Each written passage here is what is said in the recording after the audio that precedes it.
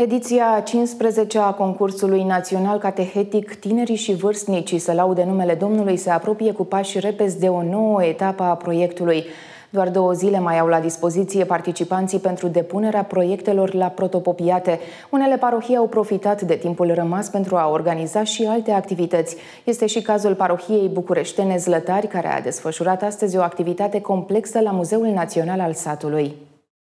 Proiectul parohiei Slătar din sectorul 3 al capitalei, intitulat Dialogul vârstelor în lumina credinței, a adus astăzi în fața tinerilor un meșter popular. Timp de câteva ore, copiii au învățat să realizeze icoane pe sticlă.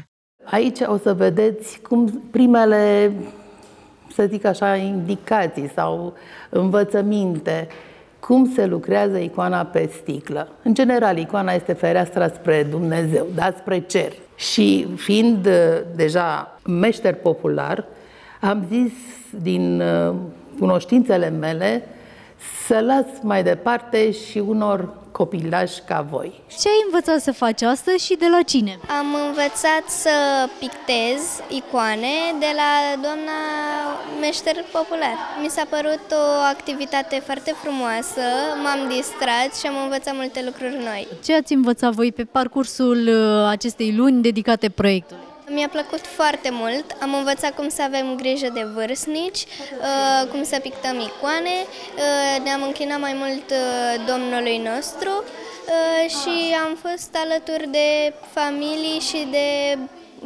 oamenii în vârstă.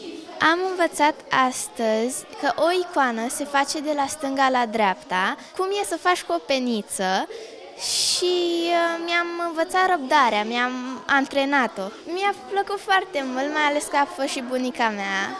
O iubesc foarte mult și iubesc și uh, vârstnicii și am respect foarte mult pentru ei și a fost foarte frumos.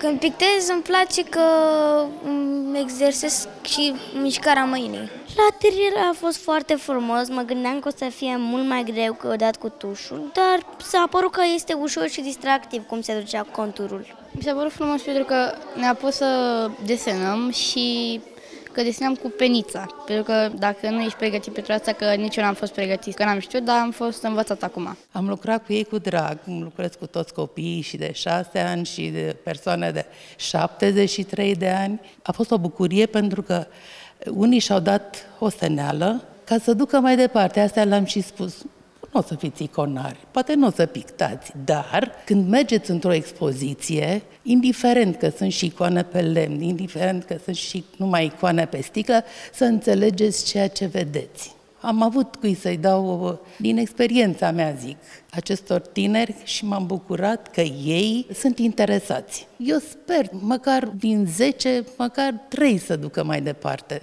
acest meșteșug care este foarte frumos.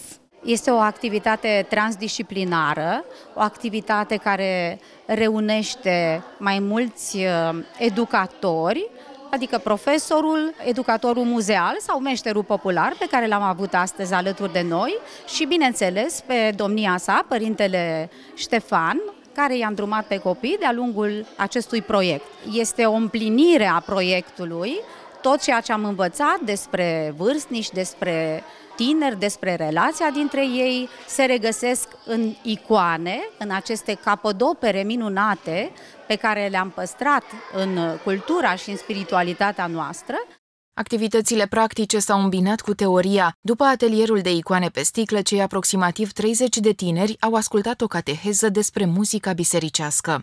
Astăzi vreau să vă vorbesc despre această cântare bisericească ce are rolul de a înălța sufletul omului spre rugăciune și spre Dumnezeu. Acum aș vrea să vă arăt un manual de muzică bisericească, se cheamă Anastasimatar, sau Cântările Învierii pe cele opt glasuri. Acest manual a aparținut bunicului meu. Așa cum voi aveți bunici, așa am avut și eu un bunic. Dumnezeu să-l odihnească, a trecut la Domnul. Și acesta a fost manualul de pe care el a studiat, pentru că el a fost cântăreț bisericesc. ne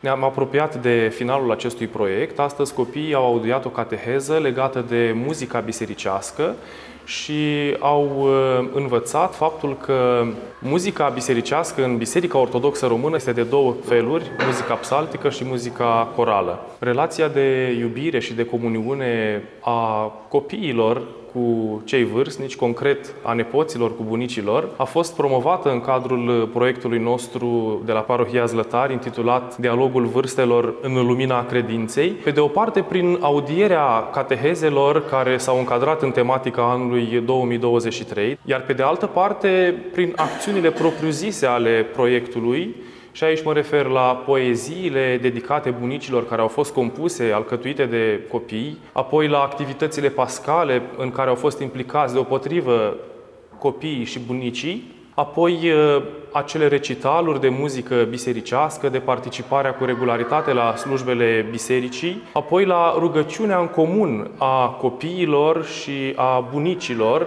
recitarea de psalmi și de unele citate din Sfânta Scriptură, referitoare la respectul pe care noi îl datorăm părinților și bunicilor noștri și apoi, desigur, expozițiile de icoane pictate de copii. Astfel, în cadrul proiectului Dialogul Vârstelor în Lumina Credinței, a fost uh, promovată pe de o parte relația sau legătura de iubire, de cunoașterea copiilor cu vârstnicii, iar pe de altă parte dialogul atât de necesar astăzi între, între generații. Depunerea proiectelor la protopopiate mai poate fi făcută până vineri.